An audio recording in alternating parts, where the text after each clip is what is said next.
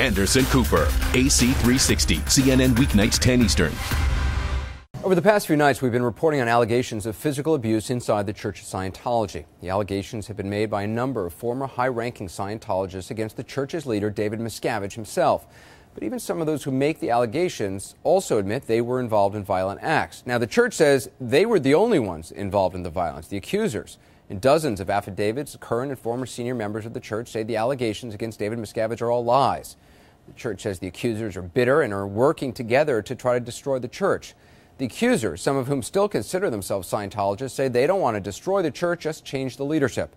Well, tonight we look at what some of these former Scientologists say happened to them when they began to speak out. Jeff Hawkins had been a Scientologist for 35 years. A member of the elite management branch of the church, the Sea Organization, Hawkins says he witnessed several incidents of violence perpetrated by church leader David Miscavige and says he was also attacked by Miscavige. One time he punched me in the gut just with no warning as, as he was passing me. The church says Hawkins is lying and is out to destroy the religion. He supports a group called Anonymous, which promotes an anti Scientology movement. Hawkins concedes he never filed any criminal charges. Why not call the police? I mean, these are this is an assault. It would never have occurred to me. It would never have occurred to you to no, call the in fact, if the police had shown up and said, "We heard that he beat you up," I would have said, "No, no, no. Uh, I just fell down the stairs or something." It's like the battered wife.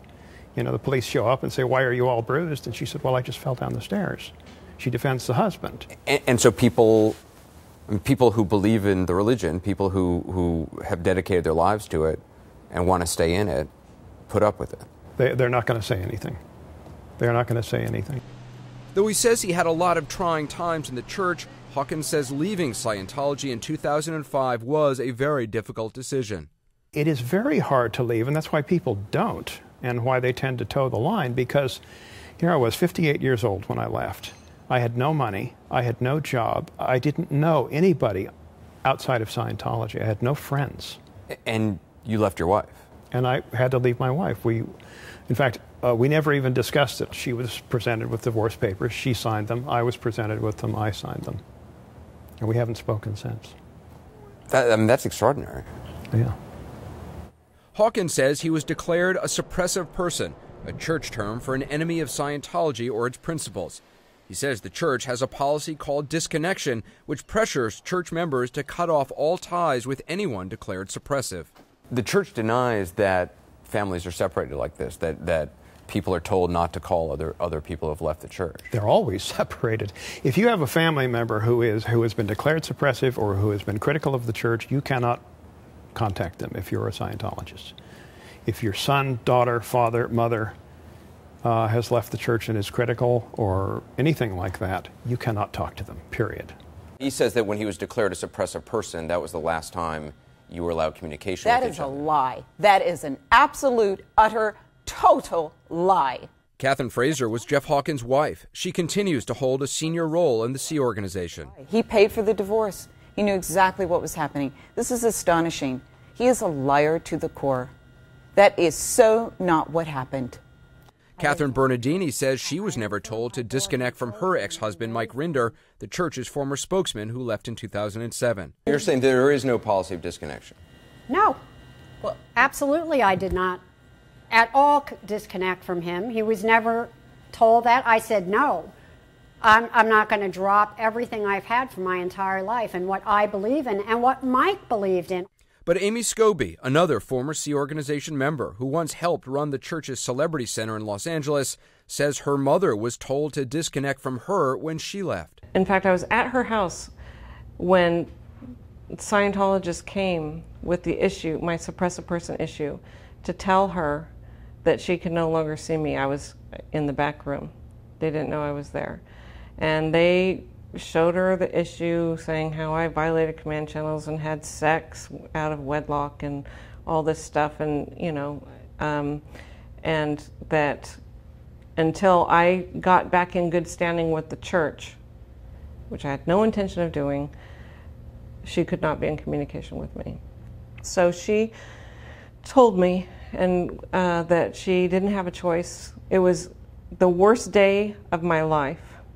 We asked church spokesman Tommy Davis and church attorney Monique Yingling about disconnection, and they denied the church forces any Scientologist to break off communication with a family member or friend. They do say, however, that no Scientologist would want to talk to a so called suppressive person. You don't want to talk to someone who's attacking your religion. That's your personal choice. I mean, if Tommy were my brother and I were a Scientologist and uh, he starts attacking the, the church nonstop, I might get to a point where I'd want to say, look, I don't want to talk to you anymore if all you're going to do is attack my religion. And that has happened in these situations. But it isn't the church saying you can't talk to this person, but individuals make decisions that they don't want to uh, have contact with someone who is attacking what is their life, essentially. Who a Scientologist chooses to be in communication with or not is the choice of that individual Scientologist, whether they're a member of the Sea organization, whether they're a parishioner, or otherwise. It is absolutely and completely their choice. Tommy Davis has said this before. Here's an interview last year with CNN. Anything that's characterized as disconnection or this kind of thing, it's just it's just not true. There, there isn't any such policy that in the church that that's dictating who people should or should not be in communication with. You know, it's it just doesn't happen. That denial and other disagreements with the church prompted Oscar winning director Paul Haggis, a Scientologist for 35 years, to resign. In a letter to Tommy Davis, he mentioned the CNN interview. You said straight out there was no such policy, that it did not exist, he wrote. I was shocked. We all know this policy exists. You might recall that my wife was ordered to disconnect from her parents because of something absolutely trivial they supposedly did 25 years ago when they resigned from the church. To see you lie so easily, he wrote, I'm afraid I had to ask myself, what else are you lying about? Christie Collbran, another former senior Scientology member, says she was declared a suppressor person after leaving the church four years ago. She still believes in Scientology, but says her parents, who remain in the church, refuse to have any contact with her. Now, Tommy Davis, who's now the chief spokesman for, for the church, has said to us that there is no policy of disconnection. Well, he, he's kind of put a little bit of a twist on it because the truth of the matter is um, it, it, it is your own choice to disconnect. You don't have to. You can say, no, I'm not going to disconnect. But then what happens to you is that you can't go into the church and other people won't speak to you. So there's ways of enforcing this. It's kind of a manipulative way. Yeah, you don't have to. My parents could have said, we're not disconnecting from, from our daughter and then you know they would have had the repercussions of it from the rest of the Scientologists, and they want to have something to do with this organization. That their spiritual salvation is at risk, and they don't want to lose that. They don't want to lose maybe their jobs if they're working for a Scientologist. So they decide, well, I'm not going to go there. I'm just going to follow you know the, the orders and the commands and the things I'm being told to do, so that I can not have my life messed up. Despite being labeled liars and being cut off from family members and friends, Christie and many other former Scientologists who have now come forward to tell their stories say they do not want to destroy the church. Their problem, they say, is with the man who runs it, David Miscavige. Over the course of several months, we have repeatedly asked the church for an interview with Mr. Miscavige, but he has declined. Well, over the last few days, we've heard the allegations and counter allegations of violent incidents among the current and former senior leadership of the church. Now, without physical evidence, it's impossible to prove who's telling the truth. But the seriousness and similarity of those allegations also make their stories impossible to ignore. The public's entitled to ask why has there been no proper police inquiry into what happened inside the Church of Scientology?